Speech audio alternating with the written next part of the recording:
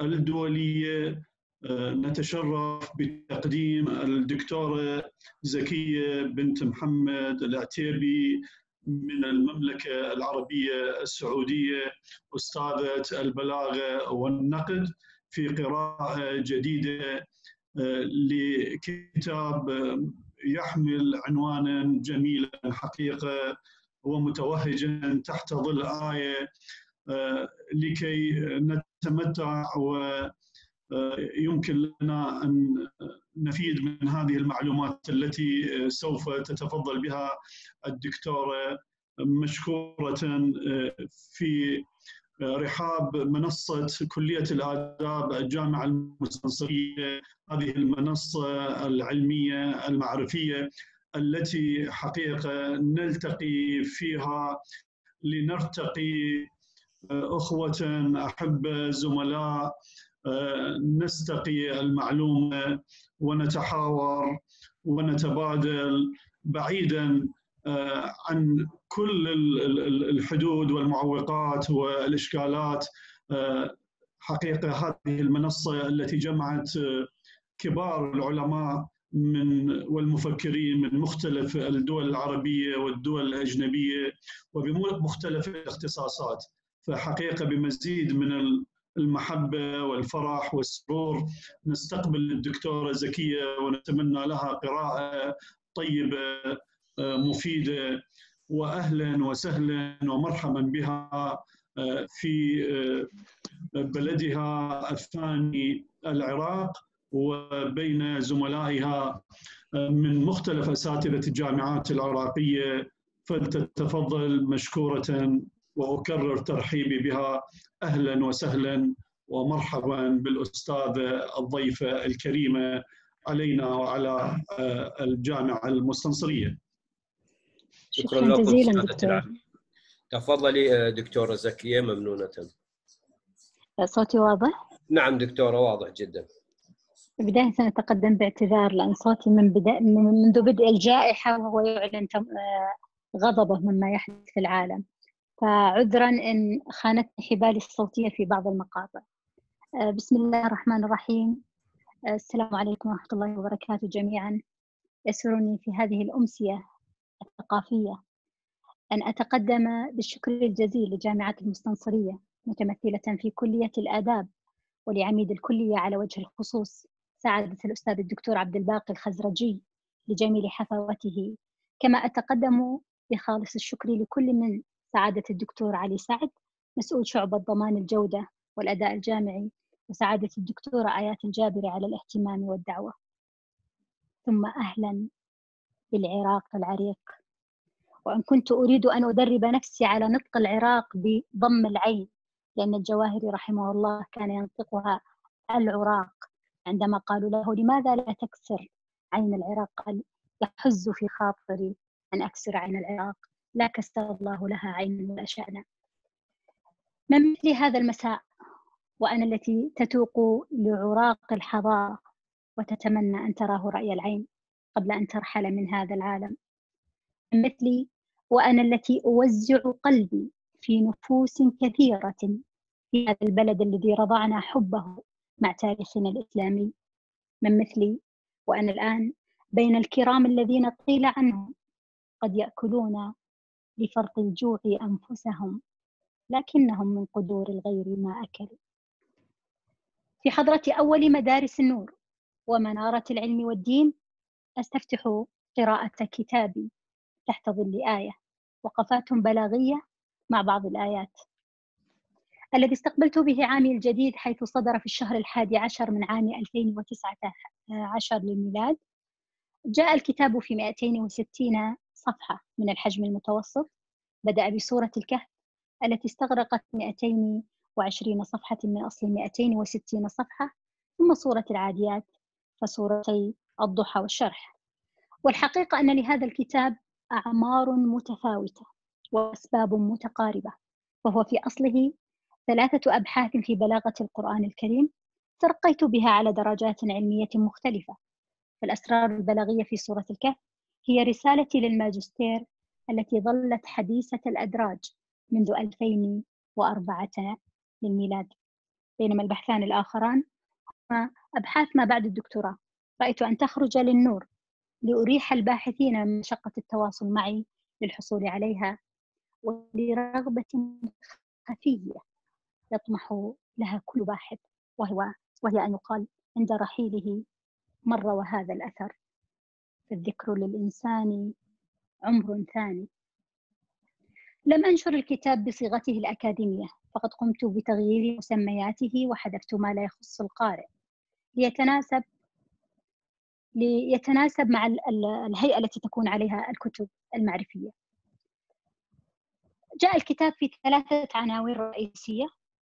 أولا تحت ظل آيات سورة الكهف ثم تحت ظل آيات سورة العاديات والعنوان الرئيسي الثالث تحت ظل ظلال آيات آيتا سورتي الضحى والشرق قسمت مباحث سورة الكهف على اعتبار أنها الأكثر نصيبا في صفحات الكتاب مبتدئة من أصغر وحدة في الجملة وهي الكلمة حتى تعدد الجمل فكان التقسيم كالتالي تحت ظل الكلمة القرآنية تحت ظلال الجملة القرآنية تحت ظلال الجمل القرآنية تحت ظلال الصورة تحت ظلال جماليات البديع تحت ظلال التناسب الصوتي تحت ظلال آيات سورة العاديات تحت ظلال آيات سورتي الضحى والشرح. وحتى لا أطيل الحديث ولأن شريحة كبيرة من الحضور ربما يكونوا ليسوا من المختصين في البلاغة آه، القرآنية. سأكتفي بذكر بعض الأمثلة بعد اختصارها وقصرها على السر البلاغي ولن أغوص في تفاصيل التحليل الموجودة في الكتاب لأن هدفي أن يخرج الحضور ومعهم معلومة تستحق أن تحضر متى ما صافحت أعينهم وقلوبهم كتاب الله. رأيت أن تمر ككبسولات سهلة الهضم من المبحث الأول لأنه لن يضطرني للدخول في عمق البحث البلاغي ومصطلحاته.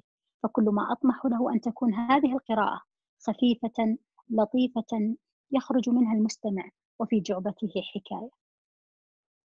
سأسرد خمس آيات وإن بقي في الوقت متسع زدت عليها. وحبذا آه، ينبهني الأستاذ الفاضل آه، علي. دون خجل متى ما التهمت الوقت الموهوب لي. نعم دكتورة شكرا. في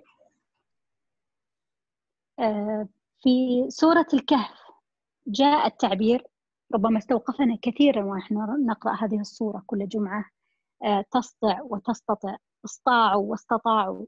ربما هاتين الصيغتين هي أكثر إشكالا في سورة الكهف. طبعا في الكتاب وفي الدراسة الحقيقية تناولتها بشيء من التحليل مرورا بدءا من المعجم حتى وصلت إلى التمييز بين الألفاظ حتى أصل للسر البلاغي. لكنني كما قلت لكم قبل قليل سأدخل مباشرة في السر البلاغي لأتمكن من على الأقل من سرد أكثر من آية.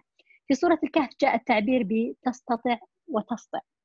فجاءت تستطيع بعد أن أنهى الخضر. كلنا يتذكر قصة الخضر عليه السلام مع سيدنا موسى عليه السلام عندما آه، صارت أحداث العاقل من الوهلة الأولى عندما يقرأها يشعر أن هناك أمر آه، لا يمكن أن يجد له تفسيرا. نبدأ بقتل النفس الزكية للطفل أبو الأربع سنوات. قتلت نفسا زكية بغير نفس. ثم آه، مرورا بخرق السفينة لقوم صالحين لم يؤذوا أحد ثم آه، إقامة الجدار لأهل القرية البخيلة الذين أبوا أن يطعموا آه، موسى ومن معه وأبوا أن يعطوهم آه، شربة ماء. فكانت هذه الأمور تحدث أمام موسى والخضر كان يقول لموسى عليه السلام إنك لن تستطيع معي صبرا ونحن نعرف لماذا أساسا موسى عليه السلام ذهب إلى الخضر عندما قال كأنه قال الله هو كلم الله عندما قال الله سبحانه وتعالى أنه آه، أو اعتد بعلمه فقال الله هناك من هو أعلم منك اذهب إلى حيث الصخرة ستجد من هو أعلم منك. فذهب موسى آه، للخضر عليه السلام. فحذره الخضر قال إنك لن تستطيع معي صبرا. قال ستجدني إن شاء الله صابرا. فذهب معه وكلما حدث أمر آه، خرج موسى عليه السلام من سيطر من السيطرة على أعصابه. ففي كل مرة كان يقول إنك لن تستطيع معي صبرا إلى أن فسر له الكلام. فكانت تستطع كلها كانت قبل أن يفسر الخضر عليه السلام لسيدنا موسى سبب قتل النفس الزكية بغير نفس ذلك الطفل الصغير.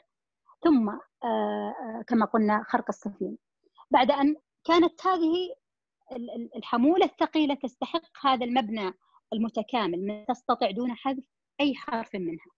فجاءت مناسبة لذلك السياق الذي كان فيه الثقل النفسي على سيدنا موسى عليه السلام. ثم بعد أن فسرت قال أما أما الغلام فكان أبواه صالحين فخشينا أن يرهقهما طغيانا وكفرا. فهنا زال بعض الثقل من نفس موسى عليه السلام. ثم أما السفينة فكانت آه، كان وراءها ملك يأخذ كل سفينة غصبا. هؤلاء القوم آه، على قدر حالهم لكن هناك على الضفة الأخرى. ملك ظالم يأخذ كل سفينة صالحة لنفسه. فخرقها الخضر عليه السلام ليرقعها أهلها ويكملوا حياتهم دون أن ينظر أو يضعها في حسبان ذلك الملك الطاغية. أما الجدار عندما ذهبوا إلى القرية وأرادوا أن يطعموهم أهل القرية أهل القرية أبوا معروفين بالبخل فأقام الجدار أي أنه مقابل ذلك العمل السيء منهم قام الخضر عليه السلام بعمل جليل. فغضب موسى عليه السلام فأعذره الخضر عليه السلام أنك لن تستطيع معي صبرا. فعندما فسر له قال كانت تحت الجدار كنز ليتيمين في المدينة. كان الله سبحانه وتعالى يريد أن يقام هذا الجدار حتى لا ينهدم لأنه لو انهدم الورثة ما زالوا قصر سيأخذ أهل المدينة البخلاء هذا الكنز. بعد هذا هذه هذا التفسير لكل تلك الأعمال جاءت تسطع ذلك ما لم تسطع عليه صبرا. فناسبت الكلمة بإسقاط حرف التاء خفة ما يشعر به موسى عليه. طلبوا من ذي القرنين أن يبني لهم سدا حتى يصد عنهم ذلك الشر الذي سيأتي من هؤلاء. فعندما جاء في سياق التسلق وكان التسلق صعب. يأجوج ومأجوج لا يستطيعون أن يتسلقوا ذلك السور الذي بناها ذي القرنين لأنه أملس وله وضعية معينة له آلية أو كيفية معينة. فكان التسلق صعب. إذا الصعوبة فيها مشقة. فجاءت استطاعوا. بينما عندما آه، فما استطاع عفوا فما استطاعوا يظهروا ما استطاعوا له نقبة آه، جاء هذا التناسب بين المبنى والمعنى فحذفت التاء عفوا لتناسب خفة التسلق لأن التسلق يحتاج إلى خفة معينة حتى يستطيعوا أن يصلوا إلى ذلك الغرض لكن عندما عجزوا وتثاقلوا عن هذا الثقب لم يستطيعوا أن يثقبوا ذلك الجدار آه، جاءت كلمة آه، ما استطاعوا أو استطاعوا عليه فناسبت هذا الثقل الذي يشعرون به. أيضا في آه، استخدام صيغة فتية وفتيان وكلاهما جمعان لمفرد واحد وهو فتى. فتية جمع قلة وفتيان. في القرآن الكريم استخدمت في قصة يوسف عليه السلام. فجاء التعبير بجمع القلة فتية في سورة الكهف في قوله تعالى إنهم فتية آمنوا بربهم وزدناهم هدى ليتلاءم مع نهاية ما وصل إليه الاختلاف في عددهم وهو سيقولون سبعة ثامنهم كلبهم رجما بالغيب. فأقصى ما وصل له الرجم في الغيب أي الظنون الظن أنهم ثمانية. لم يذكر القرآن أنهم كانوا أكثر من ذلك. فجاءت آه، صيغة فتية جمع على جمع القلة لتتناسب مع آخر ما توصلت له الظنون في عددهم. في حين أن في صورة يوسف عليه السلام وقال لفتيانه جاءت على جمع الكثرة لأن كثرة الغلمان بين يدي يوسف عليه السلام تجسد عظمة الملك. فكان يوسف عليه السلام كان حل محل ملك مصر في تلك الحقبة الزمنية.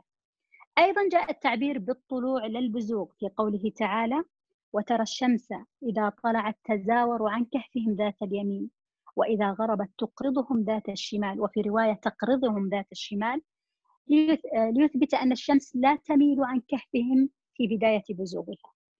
أول ظهورها بعد الفجر. البزوغ هو أول ظهور الشمس بعد صلاة الفجر. ولأن أشعة الغروب تساوي في منفعتها كما أثبتت الدراسات الحديثة أن نسبة الأشعة من بعد صلاة الفجر وقت البزوغ ووقت الغروب هي كلها متساوية. حتى أننا عندما نلتقط الصورة نجد أننا آه، آه، نشك هل كانت في وقت الغروب أم كانت في وقت آه، الشروق. فأثبتت الدراسات أن قيمة أو فائدة هذه الأشعة هي متساوية في هذين الوقتين. استخدام كلمة وترى الشمس إذا طلعت تزاور عن كهفهم. السياق يقول أنها تتزاور وقت الطلوع ووقت الطلوع كما قربوه بعض المفسرين أنه قد يكون من الثالثة إلى من التاسعة صباحا حتى الثالثة عصرا. فهذه الوقت هذا الوقت يكون وقت طلوع الشمس. هي مت... واضحة في كبد السماء لها حرارة معينة. آه، عندما قال الله تزاوروا عن كهفهم ذات اليمين إذا طلعت. هذا يعني أنها السكوت عن وقت البزوغ يعطينا الحق أن نقول أنها لم لم تمل عن وقت عنهم وقت البزوغ. كانت وقت البزوغ تعطي شيئا من ضوء من ضوئها لأصحاب الكهف وهم في رقدتهم الطويلة عندما ناموا 309 سنوات. آه، أيضا عندما قال وتقرضهم ذات الشمال يقال في بعض التفاسير أن وضعية الكهف آه، في ذلك المكان كان لا يمكن أن تعبرها الشمس وقت الغروب أو لا يمكن أن تعطيها من أشعتها وقت الغروب لكن الله سبحانه وتعالى بحمايته لهؤلاء الفتية جعل الشمس كأنها تقرضهم تقوم بتسليفهم شيئا من نورها لماذا كل هذا؟ لأن الجلود لأشخاص نائمين في حفظ الله والله سبحانه وتعالى قادر على كل شيء آه هذا الجلد أو هذا هذه الأجساد الملقاة على الأرض في كهف تحتاج إلى إلى ما يحتاج له البشر العاديون لأننا لا نستطيع أن نقول لهم أن نقول أنهم كانوا موتى إنما كانوا رقود حتى وإن كانت رقدتهم طويلة جدا. فكانت من رعاية الله سبحانه وتعالى لهم كانت الشمس وقت البزوغ تزور كهفهم كذلك وقت الغروب تزور كهفهم لكنها متى تتزاور؟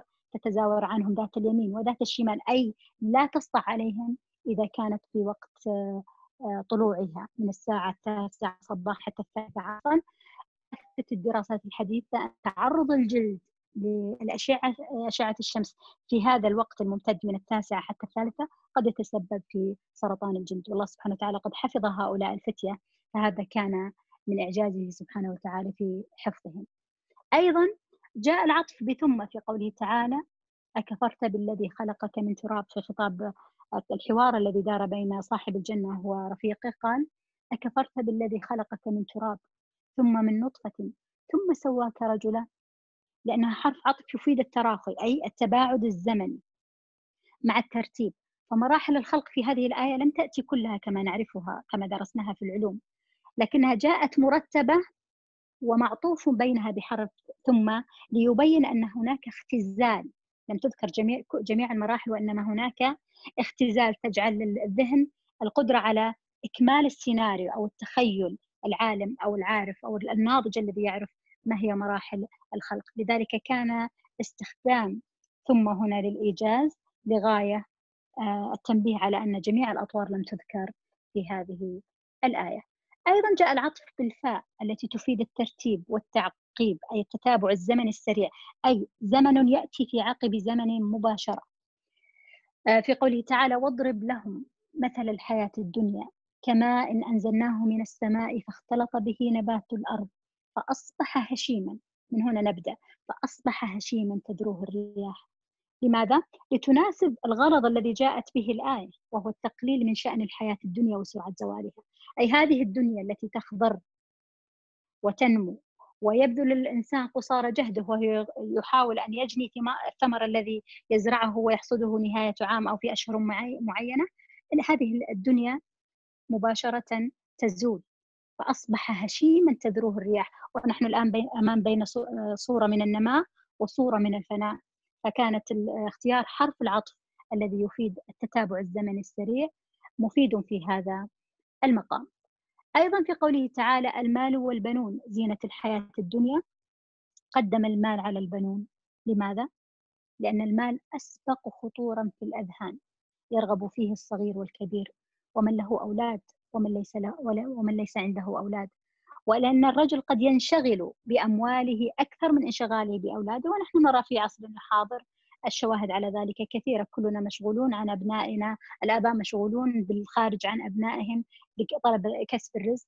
فكان حضور المال الذي يجمع عليه الصغير والكبير والرجل والأنثى وباختلاف المشارب هو كان هو التقديم أو هو الأكثر خطورا ويمكن نقرنه جميعنا بالسعادة وهذا لا لا يعني لا لا قصور فيه أو لا ليس عيبا أن نقول أن عندما يخطر في تخطر في بالنا السعادة مباشرة نقرنها بالمال. بعيدا عن المثالية نحن كلنا في حاجة هذا المال كلنا عبيدا لهذا المال. على مستوى الصحة نحتاج المال على مستوى تسيير الحياة نحتاج المال. فكان التقديم هذا له مسوغه وهو أنه أسبق خطورا في الأذهان. كذلك في قوله تعالى افتتخذونه؟ عندما آه، يخاطب الله سبحانه وتعالى يتحدث عن إبليس يقول افتتخذونه وذريته أولياء من دوني وهم لكم عدو؟ استنكار يستنكر الله سبحانه وتعالى أن نتبع إبليس هو وذريته وكل من يسخرهم لأذية آه، للوسوسة في آه، عند الناس. فيستنكر الله فيقول أفتتخذونه وذريته أولياء من دوني وهم لكم عدو. لدي مقابلة بين آه، أولياء وعدو أولياء جمع. فكان يجب أن أقول آه، أن يكون السياق عفوا أولياء لكنها أعداء عفوا لكنها جاءت لفظة عدو وإن كان يجوز أساسا في اللغة أن نستخدمها على أصلها المفرد. لكن لماذا جاءت آه، هناك سر آخر وراء هذا الجمع ثم الإفراد؟ أفتتخذونه وذريته أولياء من دوني وهم لكم عدو لتشير لفظة أولياء المجموعة إلى كثرة اختلاف أهواء المضلين وتشعبهم. وأنهم رغم هذا التشعب إلا أنهم يتحدون في هدف واحد لذلك جاءت عدو مفردة لأن هذا الكل المتشعب الذي يريد الإضلال أصحاب الأهواء المختلفة كلهم وإن تشعبوا دائما الأعداء لا يتفقون إلا على على عدو أكبر. وكم السياقات كثيرة في عالمنا إذا أردنا أن ننظر أو نضرب الأمثلة من الواقع. الأعداء إذا كان هناك عدو أكبر يجتمع الأعداء حتى ولو كانوا أعداء فيما بينهم فيما بينهم يكونون على قلب رجل واحد مقابل هدف إذا كان الهدف واحد. لذلك جاءت عدو في هذه الصيغة المفردة لأنهم على قلب واحد في الإضرار بالمسلمين. أيضا في قوله تعالى وما كنت متخذ المضلين عضدا. أفرد الجمع في عضدا مع جمع المضلين أيضا. في قوله تعالى الذي ذكرته قبل قليل تحقيرا للمضلين وتهوينا من شأنهم فهم أقل شأنا من أن يكونوا جمعا بمثابة معين واحد فضلا عن أن يكونوا أعوانا. فالجمع في حكم الواحد في عدم الصلاحية للاعتضاد. أيضا آه، في صورة الشرح وهي آه، من الأبحاث الأخيرة في الكتاب. آه، جاء التعبير برفع الذكر في قوله تعالى في سوره الشرح ورفعنا لك ذكرك على سبيل الاستعارة في إلهام الناس حتى يذكروا النبي صلى الله عليه وسلم بخير وذلك بإيجاد أسباب تلك السمعة حتى يتحدث بها الناس. ومن رفع ذكره صلى الله عليه وسلم أنه كلما ذكر لفظ الجلالة ذكر اسمه صلى الله عليه وسلم. وكلما ذكر اسمه صلى الله عليه وسلم قلنا صلى الله عليه وسلم. آه، أنا بهذا الذي أعددته قلت خمسة لكنني ذكرت عشرة.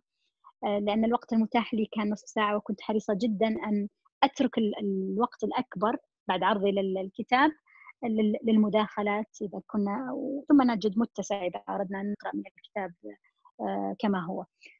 آه، أتمنى أن أكون قدمت المعلومات كما أنا تصورتها لأنني دائما أحب أنا إذا حضرت مثل هذه الجلسات أن أخرج بفائدة. لا أريح ووضعت في ذهني لأنها ليست المرة الأولى التي أحضر فيها لأنشطة العراق. وجدت ما شاء الله تبارك الله الحضور ليس لغة عربية فقط وإنما من جميع الأقسام ومن جميع شرائح المجتمع. فأحببت أن تكون هذه المعلومات بعيدا عن التخصصية آه، إلا في حال إذا كان أحد المختصين موجودا. هنا ممكن أن آه، نعود للفصول ذات التخصص. أعتبر نفسي هنا أنهيت التحليل أستاذ الفاضل. تفضل.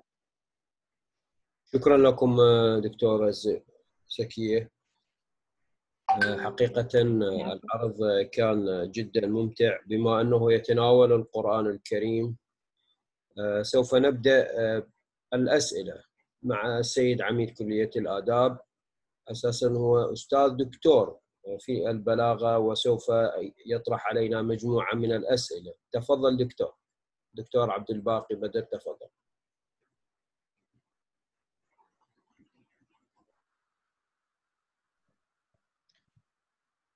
طبعا يعني شكر وتقدير للدكتور على هذه القراءة الهادئة حقيقة والمميزة والرائعة. والمفيدة بنفس الوقت.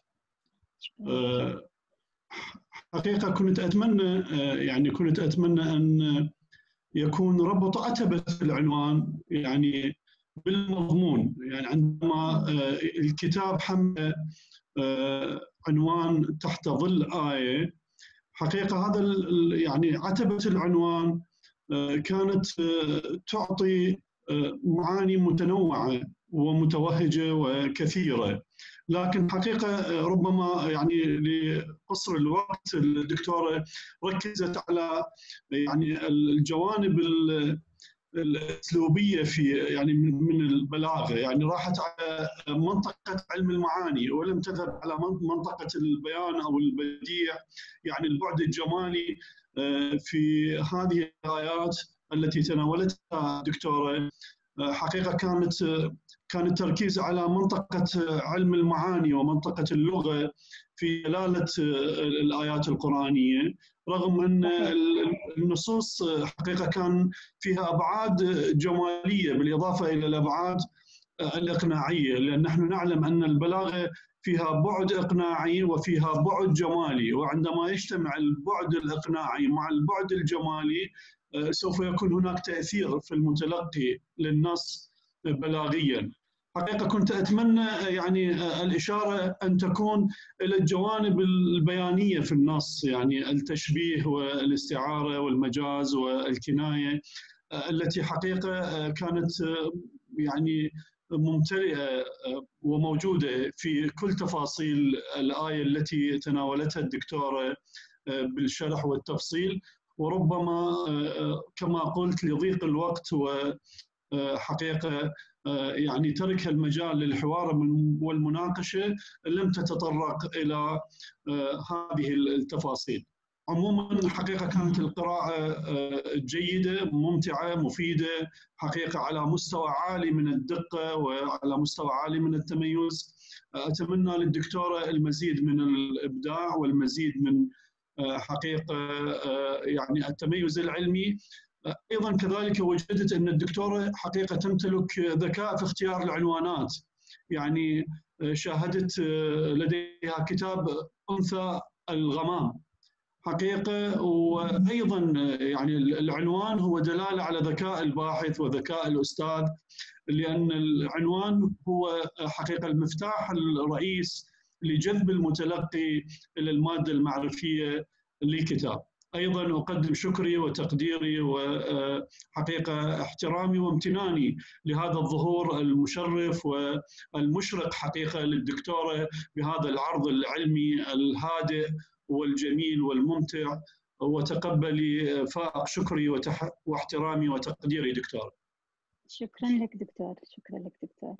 آه، أنا ذكرت قبل قليل عفوا آه، أنني لا أريد أنا دائما أضع الشريحة الأكبر الذي آه، وضع جهدا ليحضر لي من الفائدة التي سيخرج منها.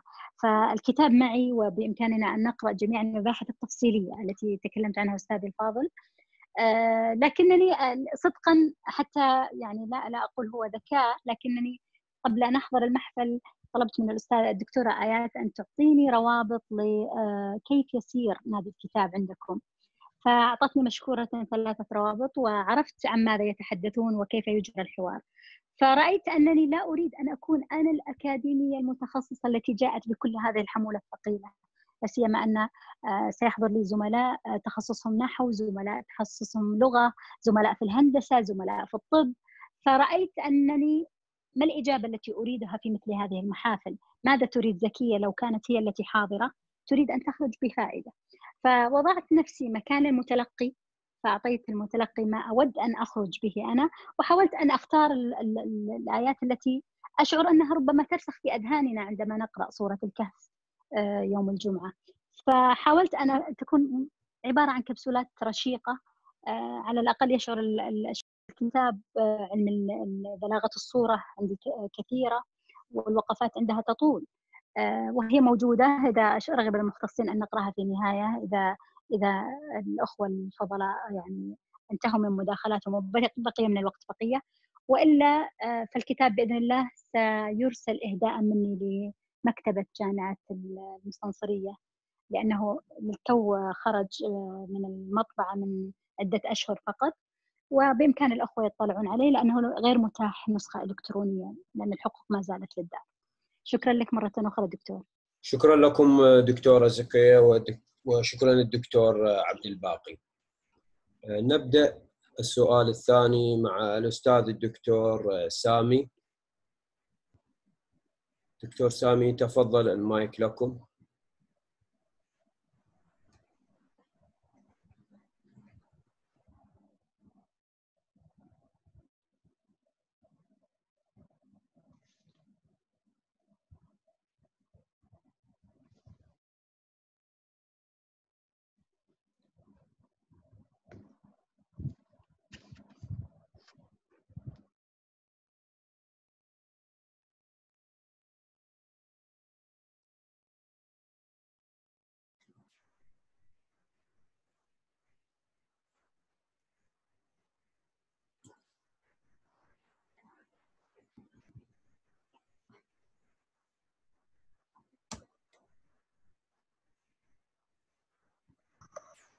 السلام عليكم ورحمة الله وبركاته. عليكم السلام ورحمة الله وبركاته دكتور تفضل.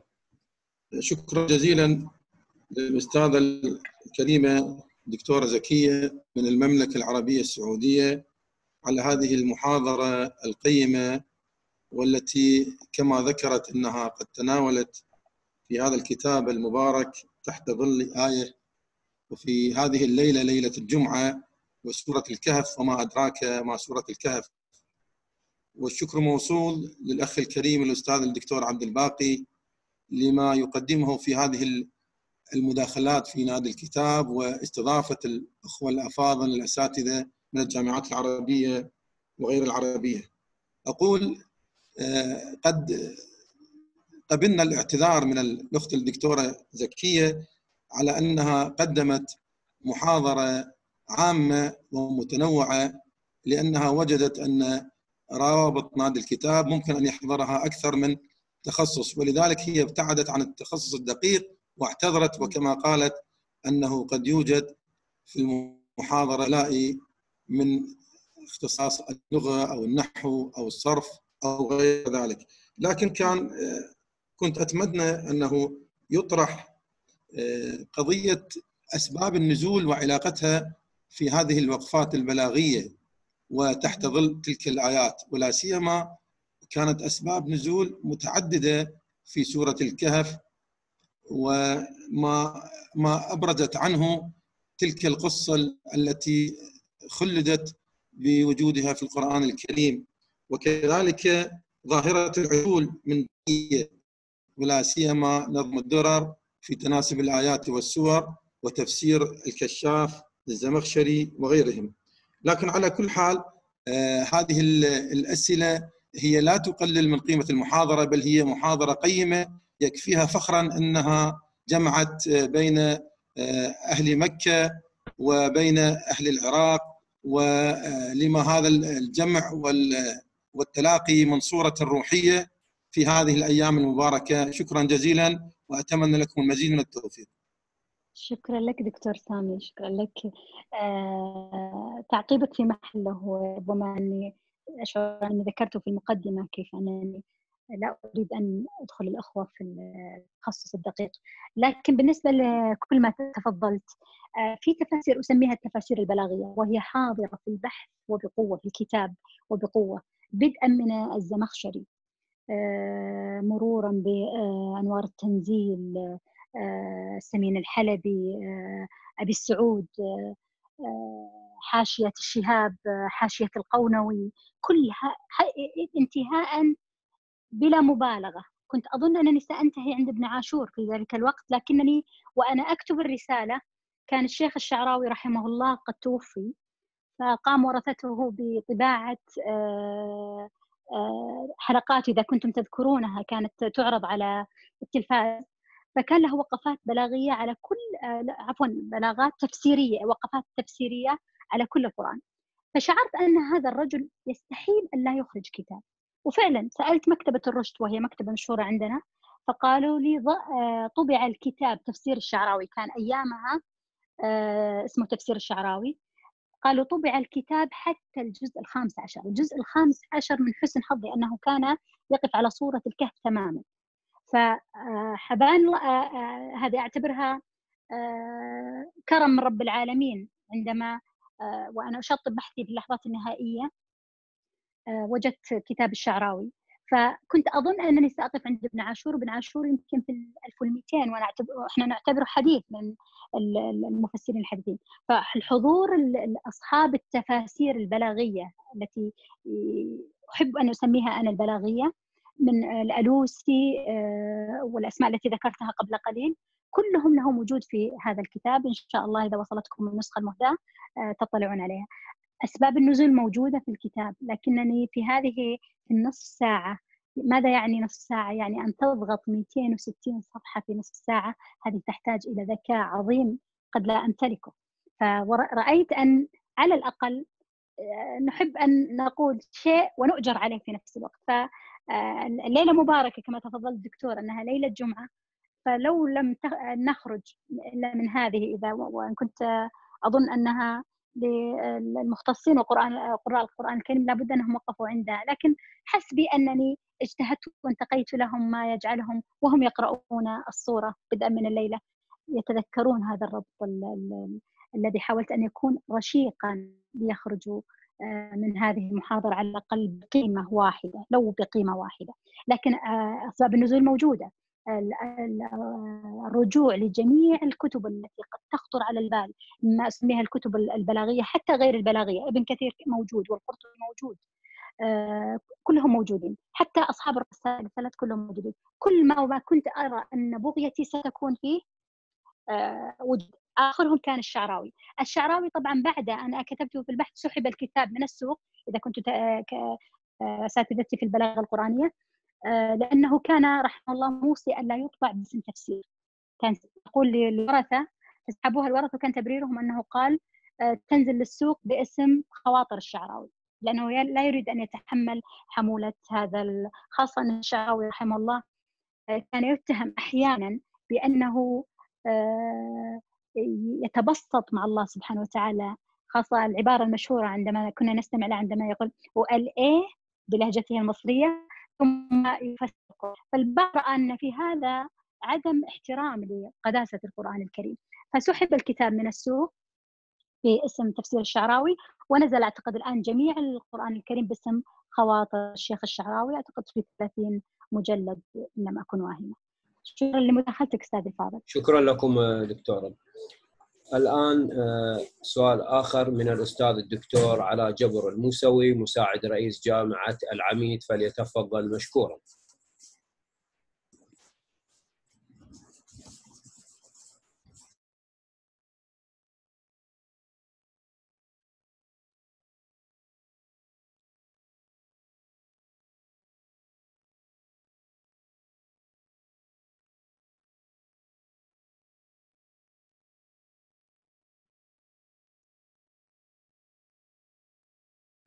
دكتور فقط اضغط المايك من جانبك.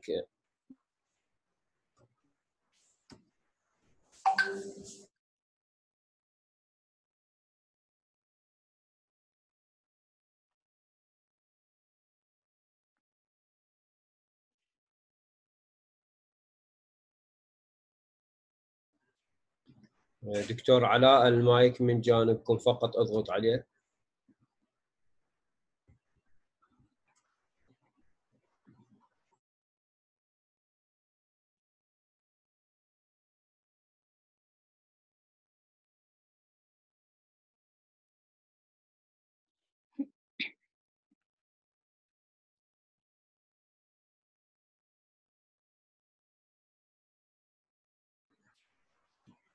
نذهب إلى آه، مداخلة أخرى آه، دكتورة لطيفة.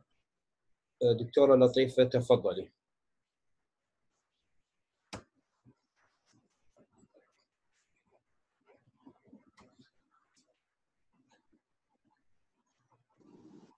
السلام عليكم دكتور. ألو. عليكم السلام عليكم. السلام عليكم دكتورة زكيه استاذتي عليكم الفاضلة السلام دكتورة. حياك الله دكتور معك اليوم حياك الله في محمد في بلدك الثاني وتحيه للدكتور العميد استاذنا العزيز الدكتور عبد الباقي البلاغي اللامع في قسم اللغة العربيه جزاه الله على هذه المحاضره التي رعاها كانت برعايتنا طبعا شكرا للاخت العزيزه الدكتورة زكيه على جمال التعبير. ورشاقة العبارة وسلاستها والهدوء الذي أحاط بالمحاضرة وكأننا على رؤوسنا الطير نستمع اليها إذ قال الله تعالى في محكم كتابه الذين إذا ذكر الله وجلت قلوبهم وإذا تليت عليهم آياته زادتهم إيمانا صدق الله العلي العظيم. طبعا شكرا دكتورة للمحاضرة الرشيقة يعني المختصرة التي ألمت بكثير من جوانب يعني ما ورد في الآيات المباركة فقط لدي يعني وجدت أن المحاضرة قد ركزت الأخ الدكتورة مع اعتذار يعني مقبول أنها ركزت على القضايا اللغوية الفتيان والفتية والطلوع والبذور وتصفع هذه كلها قضايا تعرفين حضرتك سيدتي تعرفين هذه قضايا بلاغية صرفيه ونحوية ولغويه. صحيح. فقط قضية السياق. يعني هل يستمع من جنابك عن قضية إنه هذه الكلمة أحيانا القرآن الكريم ترد الكلمة نفسها لكن تعطي معنى الكثرة أو القلة بحسب السياق؟ الكلمة واحدة صحيح. قد تكون كلمة عيون تدل على الكثرة لكنها في سياق تدل على القلة من هذه القضية. كذلك في قوله تعالى يقولون ثلاثة رابعهم كلبهم. طبعا نص الآية الكريمة أنه سيقولون ثلاثة رابعهم كلبهم ويقولون سيقولون في المستقبل ويقولون نعم. الآن خمسة سادسهم ثم يقول ويقولون سبعة وثامنهم كلبهم فالرب أعلم بعدتهم فهنا يعني هذا العدد الصحيح الذي يعني جاء به القرآن الكريم فالرب أعلم بعدتهم ما يعلمهم إلا قليل. هم هم العدد الصحيح اللي هو سبعة وثامنهم كلبهم في يعني لا أدري ما هي بالنسبة للمصادر اللي حضرتك تمشي عليها. طبعا الدكتور أستاذ فاضل السامرائي هو يعني أستاذ التعبير القرآني في الوطن العربي أكيد يعني حضرتك طبعا أستاذنا. نعم أكيد يعني غني بتفسيرات وهذا يعني هل يعني كان له يعني مساحة في هذا الكتاب المبارك وهذه الوقفات البلاغية يعني يعني ما أعرف هل كان له أم لا.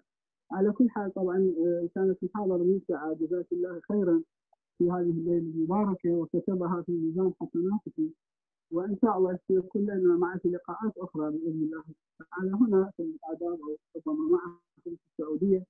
أتمنى لك كل التوفيق وجزاك الله خيرا. والسلام عليكم ورحمة الله وبركاته. شكرا لك دكتورة شكرا لك. استاذي الفاضل فاضل السمرائي طبعا موجود في الرسالة وهو أول الحضور لأنه من يغفل دوره في بلاغة القرآن الكريم كأنه ما عرف البلاغة أصلا. فهو كان لطائفه البلاغية كانت هي الإضاءات التي قدحت وصدقا كنت أحاول أن اقلده وأنا صغيرة في ذلك الوقت وما زلت صغيرة في العلم. كنت أحاول أن أقلد هذه اللطافة وتلك الرشاقة وهو يحاول أن يكشف عن الأسرار البلاغية بقوة العالم الجليل. فموجود وحاضر في الرسالة الأصلية. لعلني الرسالة لعلني أستطيع أن أهديها لك دكتورة بي دي إف بإذن الله الرسالة الأصلية. فستجدين أن الدكتور موجود فيها. بالنسبة لما ذكرته من تحت ظل الآية أولا الكلمة لا توصف بالبلاغة وإنما توصف بالفصاحة فمعروف كان عند أهل البلاغة أساتذتنا التراثيين أن لا يمكن أن أنعت الكلمة بالبلاغة إنما بالفصاحة أن تكون خالية من الغرابة وخالية من تنافر الحروف إلى آخره. لكنني أجد سبحان الله أن ما استطعت أو بمعنى بالنجد نقول ما طاوعني قلبي أن أن أن ألج إلى تفسير الآيات أو تناولها بلاغيا من حيث الصورة والتقديم والتأخير والذكر والحذف والتشبيه والمجاز المرسل والإطناب. ما استطعت أن ألج لكل هذا العالم الكبير المدهش دون أن أقف عند اللفظة القرآنية. آه، ربما كان في قضية كبيرة تسببت في أن مناقشتي للماجستير استغرقت خمس ساعات مؤلمة. آه، لأنني قلت وكنت معتدة برأيي وما زلت. أن الترادف في اللغة العربية لكنه ليس في في القرآن الكريم فكل لفظة جاءت في آية هي جاءت لي لا, لا تنوب عنها لفظة أخرى. وكنت قد استندت على ما قالته بنت الشاطئ رحمه الله في آه، الإعجاز البياني في القرآن الكريم. فكان أحد الأساتذة آه، ضد هذا وكان حضر للمناقشة ومعه ثلاث حقائب دبلوماسية. وكل مرة كان يفتح كتاب ويرد علي فكانت آه، قضية مؤلمة لكنني خرجت منها وأنا أعتبر نفسي أنني لست مخطئة. هو رأيي أفرضه ولا أعرضه ولا أفرضه. وكنت أرى فعلا كمؤمنة كمسلمة وأنا أقرأ القرآن أقول مستحيل أن هذه اللفظة لم تأتي إلا في هذا ينوب عنها غيرها في هذا المكان. كلمة باخع في قوله تعالى فلعلك باخع نفسك على آثارهم إن لم يؤمنوا بهذا الحديث أسفا. هي بمعنى قاتل وبمعنى مهلك. لكن الله سبحانه وتعالى اختار كلمة باخع لماذا؟ لأنها تدل على الألم الطويل. البخ هو أن أصل بالدابة حد البخاع. أي آه، هي تذكرني دائما بصورة آه، الضحية إذا كنا إذا أردنا أن نذبحها. كانت ثلاث ضربات والثالثة تكون في فصل الرقبة إذا وصلت حد البقاع. فالألم التشبيه هنا مؤلم.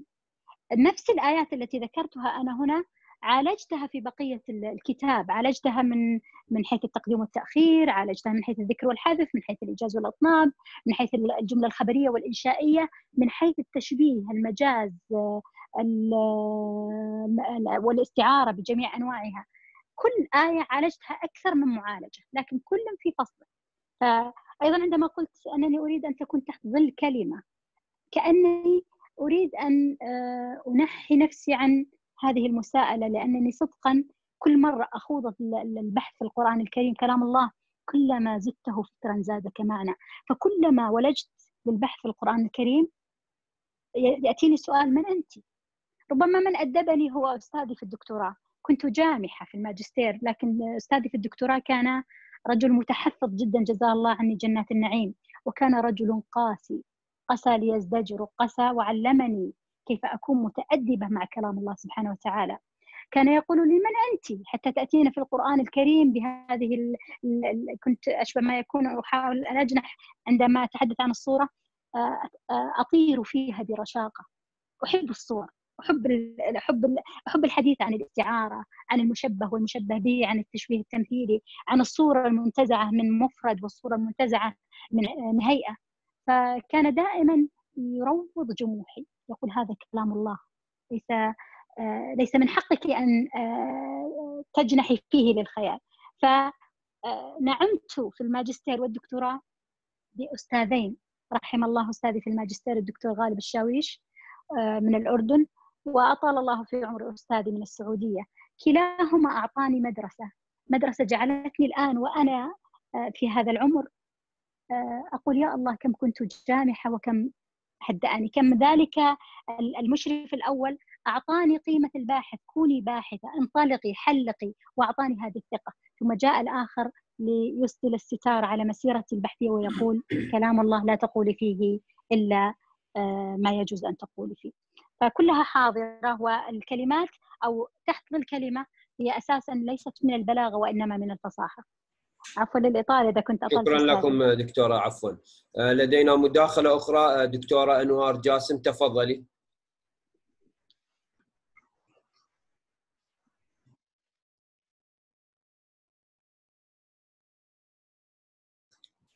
دكتورة أنوار المايك لكم فقط تضغطي على المايك من جانبكم.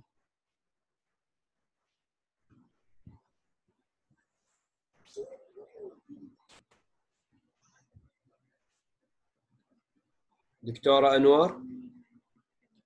دكتور علي السلام نعم. عليكم. عليكم السلام. صوتكم واضح. نعم. الصوت واضح؟ نعم دكتورة. آه شكرا شكرا لك دكتور آه علي. سعد جزاك الله خير. أهلا بك دكتورتنا زكية العتيبي في بلدك العراق. تحية لزميلتنا. الله يسلمك دكتور ولعلي أنوار الدكتور أيضا عبد الباقي الخزرجي. آه، كلامك آخر شيء أنا عندي مداخلة بسيطة جدا اعتراض بسيط على معنى استطاعوا واستطاعوا لكن. قبلها أحب أشكرك جزيل الشكر على حضورك ومشاركتك في جامعاتنا وفي كليتنا الآداب. أشكرك دكتورة وعاش لسانك وصح لسانك إنه لا يوجد ترادف في القرآن. فالله لديه الكثير من الكلمات التي لا تنفذ فلا يجعل معنى في كلمة واحدة يتحمل معنيين أو ثلاث. فمثلا كلمة. الأب في القرآن آباءكم يختلف عن الأب الوالد. صحيح. كذلك أمهاتكم ال- الجدة والخالة أمهات جدة الجدة مو؟ الأم. وأم الأم أما الوالدات يرضعن فقط الأم الوالدات اللي ترضع. فعاش لسانك في كثير من الكلمات اللي دخلنا عليها في القرآن لا يوجد ترادف فيها. أما لدي شغلة بسيطة جدا هي كلمة. استطاعوا واستطاعوا. واستطاع أنك لن تستطيع معي صبرا. نعم. كلام الخضر للنبي موسى. فلو ترين أن استطاع استطاع في نعم. كلمة استطاعوا الآية في استطاعوا آه، له نقبة ولن تستطيع مع صبرا. ألا ترين أن هذه الكلمة فيها معنى أقوى وجازم أكثر من استطاعوا بالخفة أم بالإثبات؟ ن- في المعنى الق... في في عدم الاستطاعة نهائيا فهو قال نعم. لن تستطيع أنا ماجستير بلاغة أقدم لك نفسي آه،. بتواضع ماجستير بلاغة ودكتوراه في الأدب المقارن ما شاء آه، الله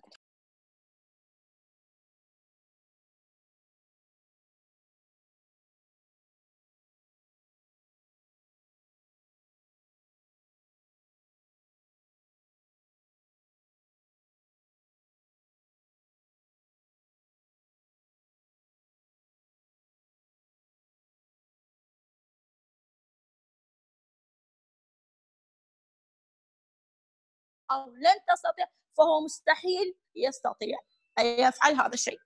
نعم. لو قال له لن أست... آه، لن أستطيع أستطيع وليس تستطيع أستطيع. لكان ربما موسى آه، قدر يصبر في حادثة أو حادثتين. تمام؟ هذا دليل.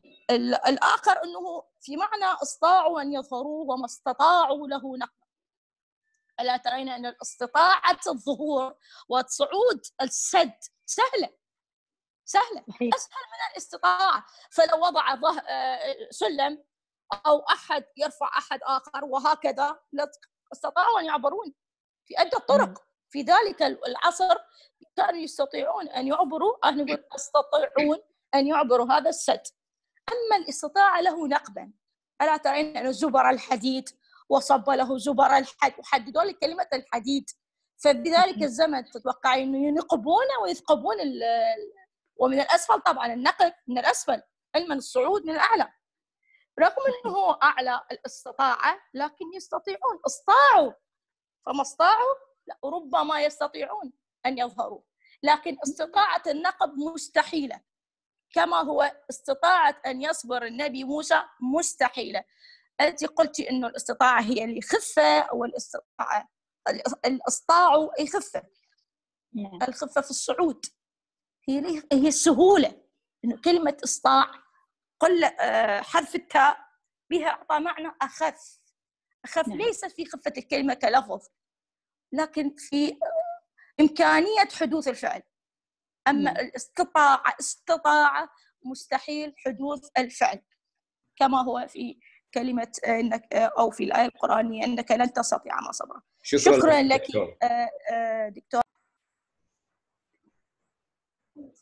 الجزم ولا من عدم هذه عالجت نفس آية عالجتها في تحت ظل جملة لأن قسمت الكتاب تحت ظل كلمة ثم تحت ظل نعم. جملة اللي هي بلاغة نعم. الجملة اللي هو التعبير بالجملة الإسمية والفعلية والفعلية عالجتها نعم عالجتها في آه، هذه الجزئية الخاصة بالجملة الاسمية والفعلية إذا دخل عليها الجوازم أو النواصب.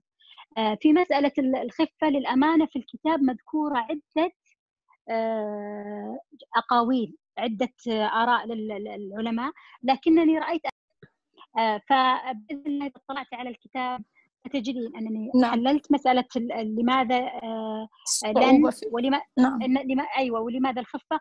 والآراء لكنني كنت في هذه ال- ال- العجالة أقتطف ما ما كان يوافق ما أردت أو ما ما شعرت أنا أنه بالنسبة لي الذي جمعت عليه الأدلة الأكثر. شكرا لمداخلتك. شكرا لكم تشرفت فيك. دكتور سنأخذ المداخلة الأخيرة لضيق الوقت الأستاذ الدكتور رعد أحمد علي. تفضل دكتور.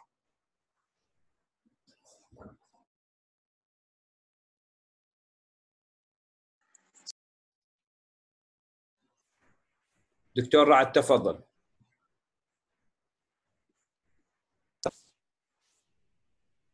السلام عليكم. عليكم السلام. علي نعم الصوت واضح. طبعاً. تفضل.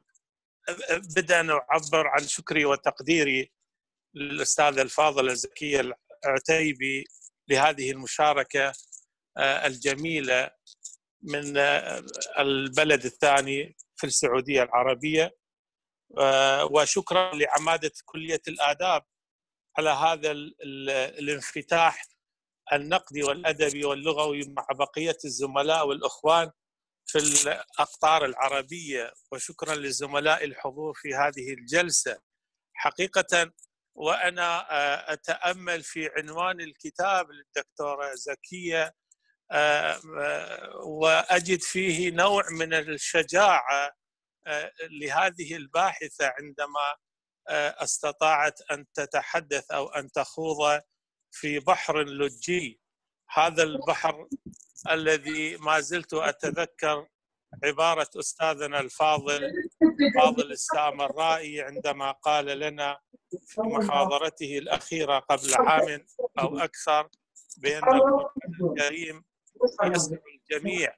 رغم كل هذه الدراسات التي أتت ولربما جاوزت الآلاف من دراسة العلماء القدامى والمعاصرين هذه إشادة آه، حقيقة آه، شجاعة للدكتورة الزكية العتيبي أن تتحدث أو أن تؤلف تحت هذا العنوان آه، الذي فيه شيء من العمق والمغامرة والشغف أيضا في أن تسجل حضورا مع هذه الحركة الإبداعية والبلاغية واللغوية التي ما زالت تمتد من آه، القرآن الكريم.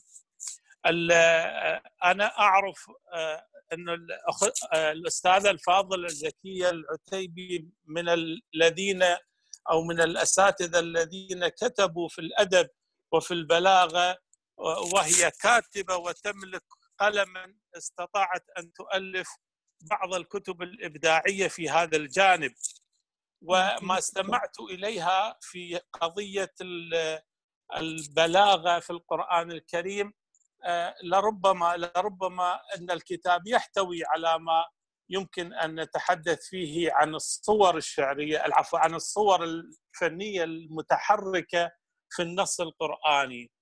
آه، والمفردة لربما لا تمتلك هذا التحرك الجميل الذي تمتلكه الصورة القرآنية لأن الدلالة في الصورة تكون أكثر سعة و- وأكثر مقدرة في تعدد هذه الدلالات المتنوعة للمفردة بين موقف وآخر بين صورة وأخرى بين حكاية وأخرى والتي تتداخل فيها الأساليب اللغوية التي وأسرار البلاغة التي تحدث فيها وقد قرأت كثيرا ووقفت مع أستاذي الدكتور عبد القاهر الجرداني كثيرا فوجدت فيه أنه أراد أن يقول بمعنى آخر أن الإعجاز هو توخي معاني النحو ولكن المتأمل إلى هذا الجهد الكبير لهذا العالم العظيم يجد أن دلائل الإعجاز هي ليست في أصول وثوابت النحو الثابتة.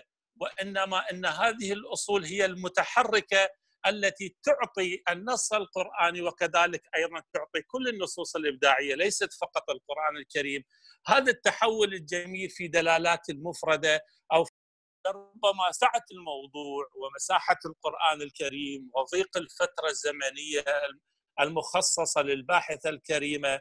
قد وقفت بشجاعة واختارت بعض النصوص وفي سورة الكهف الأمر الذي جعلها لا تخرج عن دائرة الخط الأول من القياس والتفسير اللغوي للمفردات في بعض الآيات والحروف كذلك. لذلك آه، أنا أشكر أعبر عن شكر الجزيل للاستاذه الفاضله الدكتوره زكية العتيبي وأرجو أرجو أرجو وهي كاتبة وهي أديبة ومبدعة في كتاباتها انه تقف لربما في كتاباتها القادمة إن شاء الله بإذن الله أن تتوقف وأن تبحث عن هذا الهم الذي ما زال موجودا والذي أثاره عبد القاهر الجرجاني من قضية الإعجاز القرآني، الإعجاز القرآني مستوى الصورة. ومستوى السورة القرآنية ككل ومستوى القرآن ككل. هذا التحرك الدلالي هو الذي يعطي الصورة وهو الذي يعطي الإعجاز أو الذي يعطي ما نسميه نحن أيضا في الأدب الإنزياح. الإنزياح في الصورة والحركة والدلالات والتي تعطي للمتلقي بحسب مستوياته الثقافية هذا التأثر والتعاطي بين النص بحسب هذا التبادل الثقافي بين المتلقي وبين النص. أشكركم شكر الجزيل وشكرا لأختي العزيزة الفاضلة دكتورة زكية العتيبي وأشكر آه، الأخ علي السعدي وكل الزملاء الذين وقفوا على هذا اللقاء وحققوا هذا النجاح. والسلام عليكم ورحمة الله وبركاته. عليكم السلام ورحمة الله، شكرا لكم دكتور، أنتم مسك الختام لهذا اللقاء، تفضلي دكتورة زكية. أشكر الدكتور رعد على مداخلته ولو كنت أعلم أن الكثرة الكثيرة ستكون من أهل الاختصاص لأرضيتهم لأن التحليق مثل ما تفضل الدكتور رعد في آه، الصورة تحديدا وأنزياحاتها مدهش ومدهي في القرآن الكريم. قشعريرة وأنت كباحث آه، أمامك الآيات والتفاسير وفي رأسك تدور ألف فكرة مجنونة لتتحدث عن تلك الأنزياحات المدهشة. أنزياحات حتى لو اقتبسنا وضمنا ووضعنا نصينا على بعض المجازات في في أعمالنا الأدبية لن نصل إلى عظمة القرآن الكريم. فعلا القرآن الكريم معجز ومهما قرأت من التفاسير وأنا التي أحسب نفسي أنني أتدرج تاريخيا لأنسب المعلومة لأصحابها وكنت أظن أنني لن أجد بعض الأسرار كنت أكتشفها وأنا أقرأ الآية لكن وأنا أبحث في الكتب القديمة أجدهم قد سبقوني لها. لدينا علماء مدهشين تكلموا. وإن لم يقولوا أن في هذه الآية انزياح وإن لم يقولوا أن في هذه الصورة آه، حشد من الكلمات. سبحان الله الشيء الوحيد الذي خرج أخرج به كلما آه، بحثت في القرآن أن كلام الله كلما زدته فكرا زادك معنى ولو أطعت نفسي وعدت مرة أخرى لصورة الكهف أظن أنني سأكتبها بطريقة مختلفة لكنه هو الإنسان أو هو البشر. ما لا يوجد إنسان يكتب شيء ويرضى عنه وهذه ربما علامة صحية للكاتب عليه أن لا يخاف منها وإنما يستبشر أنه آه، لم يأخذه الغرور بما وصل له من العلم. فصدقا قبل أن أنا قلت الكتاب هذا من 2004 2004 مضى عليه آه، ما يقارب العشرين سنة وكنت لا أملك الجرأة لأنشره. لكن كان في باحثين يتصلون يريدون أن آه، يريدون أن يأخذوا بعض الأشياء في سوره الكهف. فرأيت أنه علي أن أكون شجاعة وأقول هذا الكتاب كان في ذلك العمر الصغير. يمكن عمري وقتها كان ما يقارب 25 آه، سنة إن لم يكن أقل. وأنا أخوض هذا الغمار هذه اللجج الصعبة علي. فقلت ليخرج فكري ولتكن عندي هذه الشجاعة. ان أقول ذلك فكري في في تلك الأعوام. لكنني صدقا هذا هو الذي جعل هذه الرسالة من 2014 حتى 2019 عفوا من 2004 إلى 2019 وهي حديثة الأدراج. كنت لا أملك الجرأة الكافية لكنني في النهاية آمنت أنني عندما أخرج فكري للوجود أقول لهم كنت وصرت. فهذا بالنسبة لي مؤشر يشعرني بالاطمئنان. وسعيدة أن مداخلة الدكتور رعد جاءت فعلا تخاطب هاجسي الذي أخافه. لأنني فعلا الصور بالذات في صورة الكهف تحمل حمولة وحشد كبير. الكلمات التي استفتحت بها قراءتي هي مجرد كلمات رشيقة كبسولات أقول فيها هذه أنا فقط وإلا أنا لم أفعل شيء في تلك العجالة آه، التي استظليت فيها بالمفردة إلا فقط بالتفاسير وتقريب عفوا المعاجم وتقريب المعنى اللغوي من من التفاسير الخفيفة. لكن شغل الرسالة كاملة هو في الصور التي جاءت بعد ذلك. شكرا مرة أخرى لكل المداخلين. شكرا لجامعة المستنصرية. شكرا لسعادة العميد وسعادة آه، وكيل الجودة. نحن نسميه وكيل جودة عندنا في السعودية. وشكرا للأستاذة آيات التي آه، كانت معي في هذه آه، في هذا الاختيار. تفضل أستاذ. بارك الله فيكم دكتورة زكية ولكل الزملاء معنا على منصة كلية الآداب. حقيقة تشرفنا بكم وبمعلوماتكم القيمة ونسأل الله أن نلتقي بكم مرة أخرى بلقاء آخر وكتاب آخر. تحية تقدير من قبل كلية الآداب متمثلة بالسيد عميد كلية الآداب الأستاذ الدكتور عبد الباقي بدر. وجميع الزملاء من مختلف الجامعات ودول العالم ومن مختلف التخصصات. شكرا لكم شكرا مرة ثانية. جزيلا لكم. شكرا جزيلا شكرا جزيلا. مساءكم سعيد. أسعد الله مساءكم. في أمان الله.